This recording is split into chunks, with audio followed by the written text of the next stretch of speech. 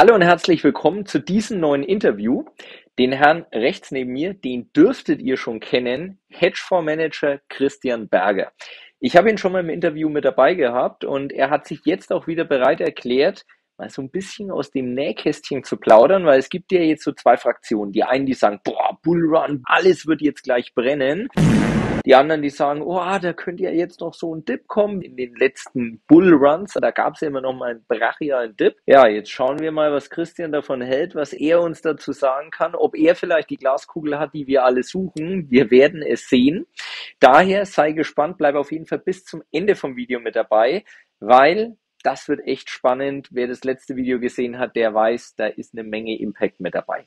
Auf unserem Kanal findest du spannende neue Projekte, du findest News zur aktuellen Marktlage und die faktenbasierte Analyse von Scams. Wenn dich die Themen interessieren, lass auf jeden Fall schon mal ein Abo da.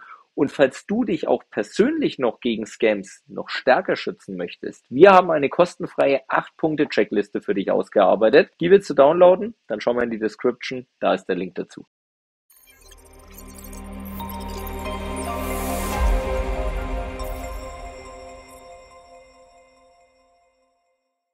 Lieber Christian, vielen lieben Dank, dass du dir die Zeit nimmst und wieder mal zu Gast bist bei mir auf dem Kanal.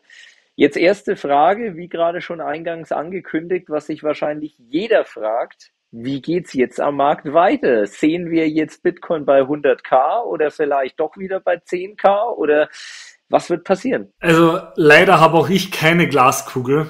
Deswegen schauen wir uns den Markt einmal realistisch an. Es gibt immer diese zwei Lager, das typische Bullenlager, Bitcoin steigt jetzt weiter, der bullische Trend setzt sich fort, die anderen prognostizieren jetzt dann ja schon den nächsten Dip, den Crash. Also die Bullen, die Bären, die Optimisten und die Pessimisten. Ich bin hier auf der Seite der Realisten, so wie schon die Hedgefondsmanager aus Amerika gesagt haben, die Realisten sind diejenigen, die den Vorteil am Markt haben und das Beste aus einer bullischen Marktphase machen und auch das Beste aus einer bearish Marktphase würde aber sagen, wenn wir uns das Ganze jetzt ein bisschen anders anschauen, das Bitcoin-Narrativ, jetzt gar nicht mal so sehr konzentriert, sehen wir jetzt noch einen Dip, sondern eher, welche Faktoren stehen jetzt noch an. Das Jahr 2024 ist ja ein sehr, sehr interessantes Jahr. Nicht, weil die mögliche Genehmigung von ETFs ansteht. Das da steht jetzt in den Sternen, aber die Wahrscheinlichkeit ist schon sehr, sehr hoch. Bloomberg bewertet es mit einer 90% Wahrscheinlichkeit, dass wir im Jänner eventuell schon die erste Genehmigung sehen.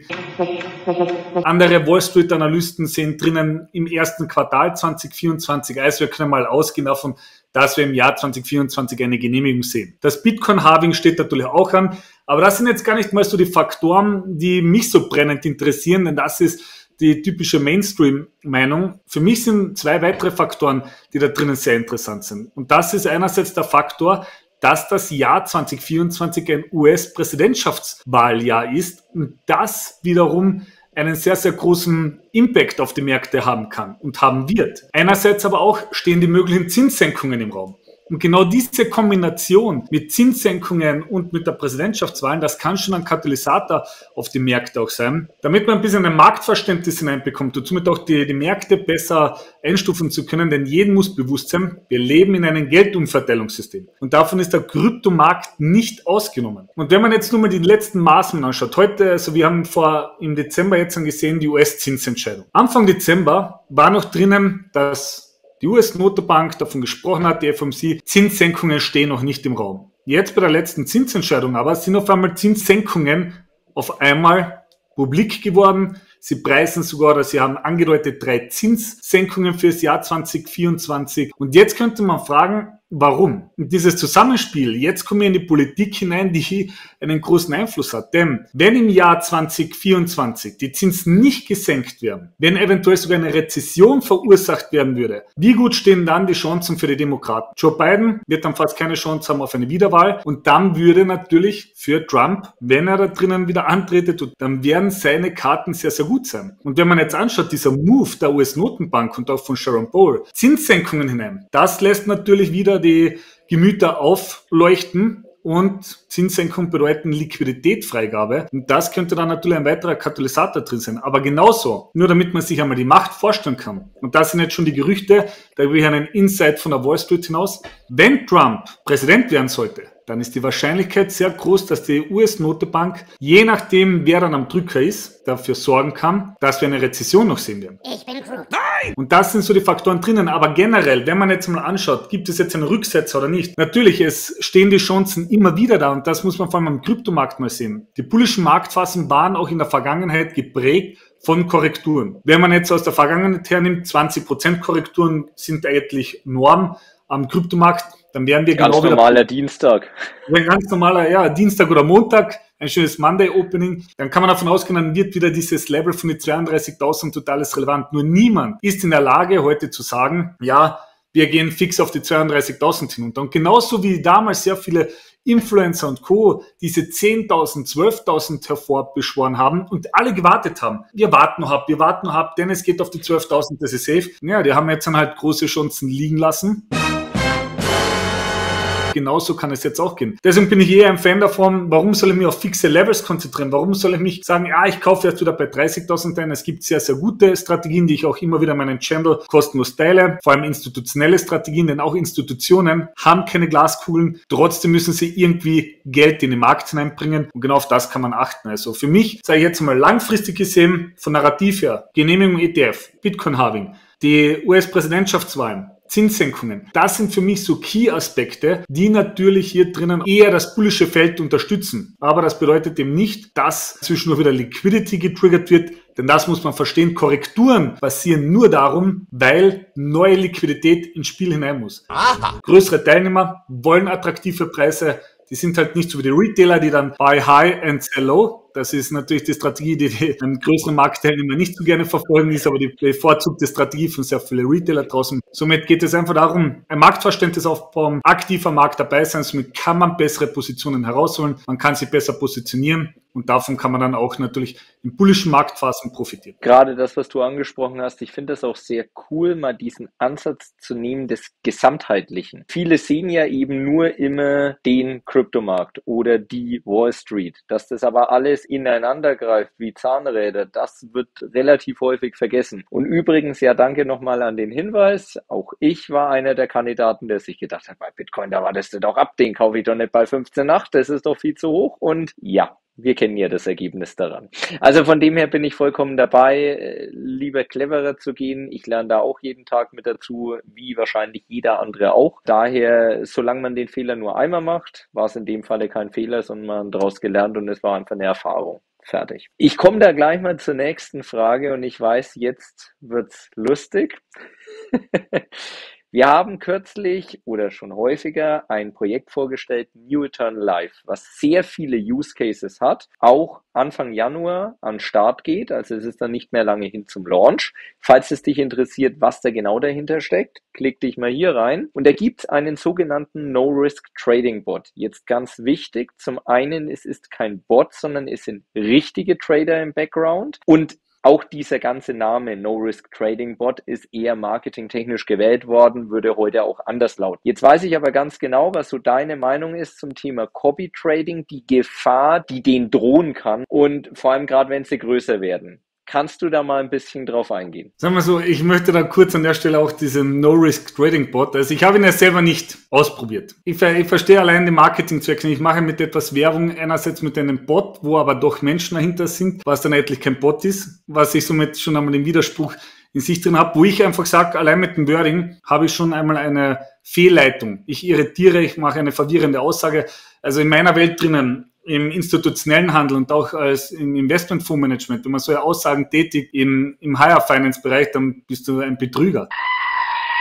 Das ist auch die Problematik, warum der Kryptomarkt noch nicht in der High Finance wirklich anerkannt ist. Und die unterscheiden auch Bitcoin und Ethereum werden anerkannt, alles andere ist Krypto. Ja. Also Krypto-Bullshit ist der Krypto-Bullshit, grenzt alles aus wie ein bisschen Bitcoin und Ethereum. Genauso ist es aber auch im Trading drinnen. Es ist so diese 1% pro Tag. Ich frage mich da halt immer, okay, wie kommen diese 1% am Tag fix zustande? Niemand schafft es. Kein Ray Dalio, kein Warren Buffett hat das jemals garantieren können, einen Prozent am Tag fix Rendite zu geben. Dann kommt meistens wahrscheinlich Aufhänger dazu, ja, das kann, wird nicht immer so lange laufen und so weiter. Ich frage mich immer, wenn jemand so eine bahnbrechende Strategie hat, und das war ja auch mein Ansatz, Ansatz, denn ich bin genauso in der Softwaretechnologie drinnen mit künstlicher Intelligenz, im Hedgefondsmanagement und Co. Wenn ich eine bahnbrechende Strategie habe, warum versuche ich da nicht irgendwo zu einem Unternehmen zu gehen oder zu größeren Investoren und sagen, hey, ich habe da was Interessantes, probiert man das Ganze aus. Also ich bin da vielleicht ein schlechter wirklich der, der schlechteste Ansprechpartner, weil ich da sehr kritisch bin, weil ich halt doch sehr Wall Street geprägt bin. Außer mal so bei Copy Trading. Und das ist für mich einer der wichtigsten Sachen. Es ist nicht per se die Trader, die schlecht sind oder irgendetwas. Oder wenn Verluste entstehen, dass hier vorrangig die Trader deswegen nicht traden können. Das Problem ist einfach die Verhältnismäßigkeit und die Liquidität, was hineinkommt. Wenn nämlich ein Trader jetzt anfängt mit 10.000 Euro zu traden und der macht einen guten Track Record, der macht ein paar hundert Prozent, weil er ein sehr gutes Setup hat, wird das natürlich, er fängt klein an, dann kommt diese, der ganze Hype hinein. Plötzlich wird sein Volumen dementsprechend höher. Nur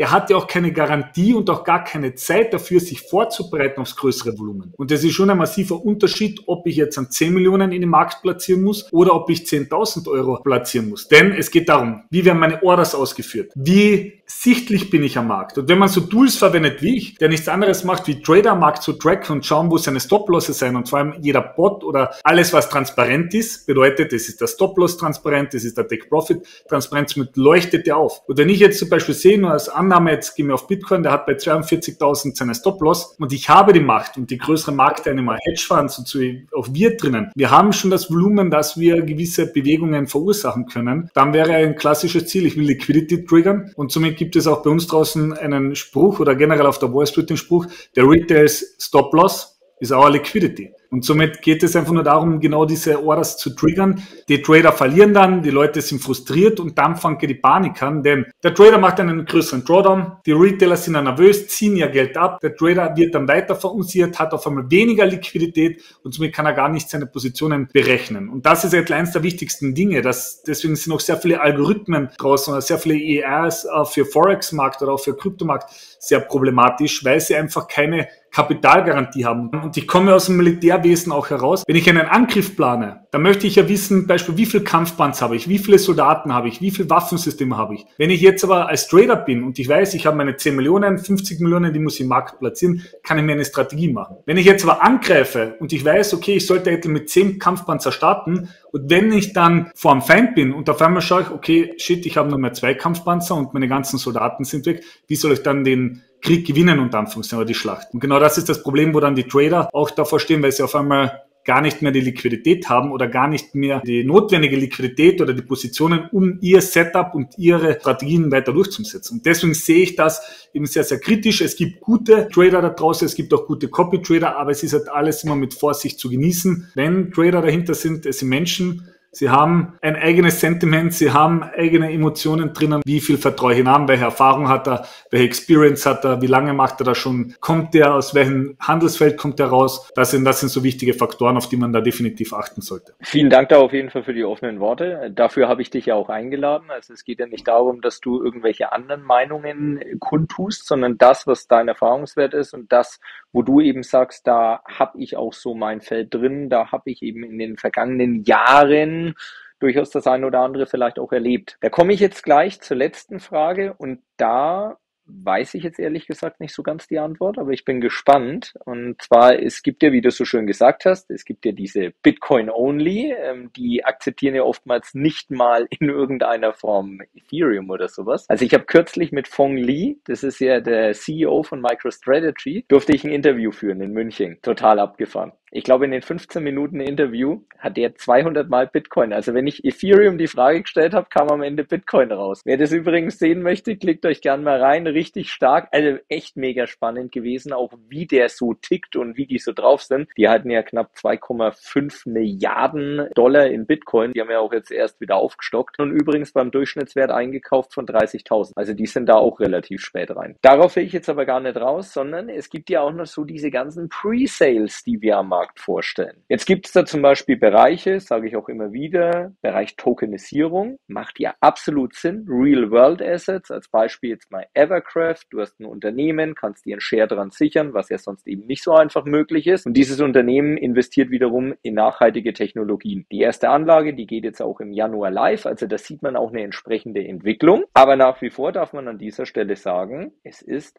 High-Risk-Investment. Wenn du jetzt wissen willst, was Evercraft genau macht, klick dich gern mal rein. Aber jetzt mal meine Frage an dich. Bist du eher derjenige, der auch sagt, so Bitcoin-only nur die Großen oder sagst du, hey, da ist auch mal Platz für einen Pre-Sale, solange das Ganze natürlich sinnig ist. Also man kann es ja nachlesen, ist ja bei unserem Kanal auch ganz wichtig. Wir stellen ja nicht jeden Schrott vor, sondern nur das, wo wir persönlich sagen, sehen wir Potenzial, haben wir durchgecheckt, aber eine hundertprozentige Garantie ist halt trotzdem nie vorhanden. Also prinzipiell sind mal sagen wir so Pre-Sales oder Seed-Investments die sind, können schon attraktiv sein. Also ich bin jetzt nicht der absolute Fan davon, aber natürlich beteiligt man sich ab und zu auch. Es sind halt typische Startup-Investitionen. Man muss halt wissen, es birgt ein sehr hohes Risiko, aber auch natürlich ist die Renditemöglichkeit sehr, sehr gut. Und deswegen soll bei uns im Fondsmanagement oder irgendwo drinnen, na, auf was kommt es drauf an? Es kommt in erster Linie darauf an, ich muss eine richtige Kalkulation machen, eine richtige Bewertung. Nicht immer gleich dahinter, okay, steckt ein Unternehmen dahinter, in welchen, welche Use Cases haben sie,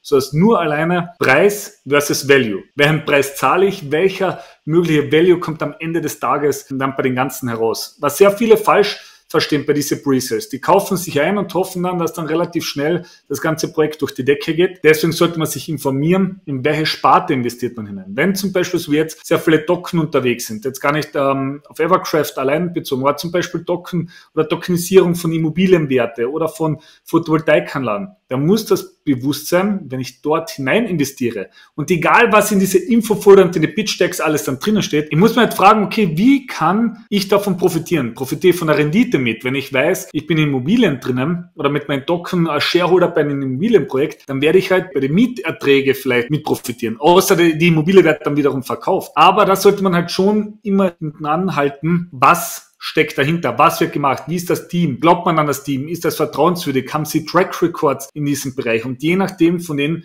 kann man das dann abwägen. Ich gebe da immer einen guten Tipp. Wenn man sich diese Infofolder anschaut, und wir haben jetzt ja schon einige Projekte gesehen, oder man braucht ja nur mal 2020 zurückdenken, deswegen sage ich immer, wir sind jetzt ja eventuell nicht nur in einem bullischen Trend drinnen, sondern es folgt ja auch die nächste Phase, bullische Phase, oder eine Bullenphase, die 99 Prozent nicht kennen, aber 99 Prozent folgen. Das ist diese typische Bullshit, der Bullshit-Zyklus. Weil die Leute natürlich jetzt jeder draußen, das ist ein gutes Dockenprojekt oder da gibt es irgendein Projekt. Und wenn man da schon mal weiß, bei einem Projekt, da ist ein extremes Multilevel-Marketing-System dabei. Da muss ich mir nur fragen, okay, woher kommt die Rendite für den Vertrieb? Weil ich kenne da Projekte und das haben wir schon sehr viele gesehen. Also ich bin jetzt seit zehn Jahren am Kryptomarkt. Ich glaube, ich habe da schon jetzt sehr, sehr viel gesehen. Aber wo ich sage, okay, Kunde zahlt 1000 Euro ein, auf seinen Account sind 1000 Euro und gleichzeitig hat der Vertrieb 500 Euro verdient. Da frage ich mich, woher kommen diese 500 Euro? Was machen Sachen? Da kannst du noch viel höher gehen. Es gibt Projekte, die geben 85 oder 90 Prozent raus, was niemals aufgehen kann. Niemals. Und nur das, wenn auf meinem Account, auf dieser Plattform in Dashboard drinnen steht, das muss nicht gleich das bedeuten, was tatsächlich ins Projekt hineingeht. Also da sollte man sich natürlich sehr, sehr gut informieren. Ich bin selber in einige Seed Investments und Pre-Sales hineingegangen, ist im Hedgefund-Business eher unüblich, weil wir halt nicht in illiquide ähm, Dinge hineingehen. Aber zum Beispiel auch, wir sind hineingegangen, die Projektführung hat fest versprochen, ja, wir launchen noch im dritten Quartal 2022. Jetzt haben wir Ende 2023 und der Launch ist noch immer nicht. Und dann ist aber das Problem und diese Projekte scheitern dann vielleicht, weil die Leute dahinter waren zu unerfahren. Die haben keine richtige Timeline, keine Roadmap machen können, was ja nicht gleich heißt, dass es ein Betrug ist. Aber was passiert dann mit der Community? Leider investiert dann Stupid Money in den Markt hinein, die investieren in einen Presale, dann wird gesagt, die halten sich an keine Roadmap und auf einmal passiert, dass ein Shitstorm passiert. Und dann brechen diese Projekte zusammen. Deswegen sage ich, sehr viele Projekte brechen nicht zusammen, weil alles Bullshit ist, sondern weil es quasi sabotiert wird von den eigenen Investoren, die schießen gegen ihre eigenen Investments, weil sie keine Ahnung haben, wie man mit Startup-Investitionen hineingeht. Und deswegen sage ich mal, jeder möchte am Markt überdurchschnittliche Renditen erzielen. Ich reich! Aber die wenigsten beschäftigen sich mit überdurchschnittlichen Informationen. Und ich kann keine überdurchschnittlichen Renditen erzielen, wenn ich mich mit Bullshit oder mit irgendwelchen 0815 Informationen beschäftige. Denn genau das ist der Grund, warum die wenigsten erfolgreich sind. Und dadurch möchte ich aber auch bei mir im Channel drinnen immer wieder Einblicke geben, institutionelles Handeln, worauf man achten sollte, auf Projekte, wenn ich auch in Straight oder als Investor irgendwo hineingehe, wie man das halt am besten handeln kann. Gebe ich dir vollkommen recht. Also ich habe die Diskussion auch immer wieder. Ich gebe da offen zu, letzter Bullrun, hey, Feuer frei, überall reingeschmissen. Was davon ist überhaupt geblieben? Was ich viel verrückter finde an der Sache ist halt auch, dass da Projekte mit dabei waren, wo du dir denkst, das kann eigentlich nicht. Was ist denn hier los? und trotzdem ist es gescheitert. Und du denkst dir so, What? Also daher, da, da lernt man auch immer wieder mit dazu. Ich sage es aber auch immer wieder der Community. Ihr kauft nicht nur den günstigsten Preis im Token, ihr kauft auch das höchste Risiko. Und es darf an der Stelle jedem bewusst sein. Aber jeder sieht halt nur die Renditen und nicht das Risiko, was dahinter steckt. Also bin ich vollkommen bei dir. Jetzt komme ich abschließend zum Punkt und das finde ich persönlich ganz, ganz wichtig. Es geht ja immer drum, von Menschen mit sehr viel Erfahrung zu lernen. Jetzt hast du eine Möglichkeit geschaffen, was ich unglaublich stark finde, weil es gibt ja genug da außen, die hauen dir irgendwelche Trading-Kurse um die Ohren, wo du dir immer denkst, hey, wenn du so ein krasser Trader bist, warum machst du einen Kurs? Also dann trade doch einfach für dich selber. Aber lassen wir jetzt einfach mal so im Raum stehen. Auf jeden Fall, du hast es ja geschaffen, dass du zum einen täglichen Input gibst, zum anderen aber auch auf wöchentlicher Basis. Jetzt kannst du da mal ein bisschen Einblick geben. Wie kann jetzt jemand, der dieses Video sieht und sagt, wow, krass, da möchte ich noch ein bisschen Wissen mitnehmen. Ich bin auch bereit dazu, mal die Extrameile zu gehen, mich abends auch mal eben vor den Bildschirm zu setzen, dir einfach mal zuzuhören. Wie kann der von deinem Wissen profitieren? Also es ist jeder recht herzlich eingeladen, kostenlos im Telegram-Channel, im täglichen Blog, wo ich einen Insights gibt, auch einerseits von der Wall Street, welche Informationen ich bekomme von den Hedgefondsmanager aus Amerika, von meinen Kontaktpersonen, aber auch von Frankfurt und auch von den diversen Leuten im Crypto-Space. Und ich versuche da einfach ein anderes Marktverständnis zu geben, denn wir bekommen über Social Media, Instagram, YouTube, und überall anders. Die Daily Informations, die sowieso alles möglich ist, ob jetzt MicroStrategy wieder 5000 Bitcoin mehr gekauft hat oder nicht. Das ist so quasi, ja, Brot und Spiele. Hauptsache die Leute bekommen Informationen. Nur, es bringt keiner nichts. Was bringt mir diese Information? Und mein Ansatz ist halt einfach, ich gebe halt eher komplexere Informationen hinaus. Mir geht es darum, dass man ein bisschen dieses Storytelling der Märkte versteht ein bisschen die Backgrounds, wie agiert die Wall Street, warum passieren gewisse Dinge auf den Märkten, weil die Märkte sind nicht logisch, aber man kann ihnen folgen, wenn man ein bisschen Verständnis hat und das versuche ich in die Workshops die kostenlos sind, weiterzugeben im täglichen Update, damit man ein bisschen eine anderen Insights hineinbekommt und vor allem, wie man sich passend vorbereitet. Denn man muss sich jetzt zwei Dinge vor Augen halten. Wir stehen jetzt vor allem in einer Phase drinnen, wo einerseits, und das ist nicht nur so dahingeredet, wir sind beim großen Geldwechsel und nicht das Geldumverteilungssystem, sondern wir sind von diesem generationsübergreifenden Geldwechsel drinnen, wo jetzt an die nächste Generation, an die nächste Generation das Geld vererbt wird. Das heißt, in den nächsten 10, 15 Jahren wird die Generation, die jetzt zum Beispiel auch mit Bitcoin oder mit AI, mit Digital Solutions und so weiter aufwächst, wird mit sehr viel Geld in Kontakt kommen. Und wenn man sich jetzt anschaut, warum bereitet sich BlackRock, Fidelity und Vanguard mit einem Bitcoin-ETF vor? Nicht in erster Linie, weil sie glauben, ja, Bitcoin ist das digitale Gold, sondern weil sie schon auf die nächsten Generationen achten. Und das ist zum Beispiel auch so ein Triggerpunkt, wo ich jetzt sage, bevor jetzt jemand, und da wieder vielleicht auf die letzte Frage auch dahin aufzugehen, im Brazil gehen viele hinein, weil sie glauben, okay, wenn ich nur 100 Euro habe, kann ich damit vielleicht 1000 X machen. Warum aber investiert man nicht dort hinein, wo ich eher mehr Sicherheit habe, denn vielleicht kann ich mit sicheren und hochspekulativen, weil Bitcoin gehört auch zu hochspekulativen und Risikoassets noch. Aber da sehe ich ja auch, dass ich noch einen Vorsprung haben kann. Im Jahr 2024 wird die Wall Street drinnen Fuß fassen. Klar, soweit. Und da kann ich jetzt noch einen Impact haben. ich möchte nur